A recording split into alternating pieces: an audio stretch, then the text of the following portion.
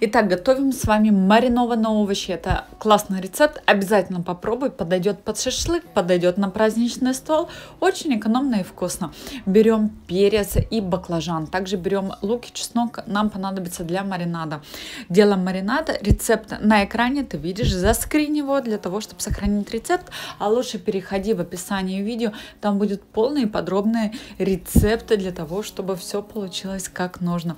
Перец мы отправляем в духовку вместе с луком, а баклажаны мы обжариваем с двух сторон на сковородке.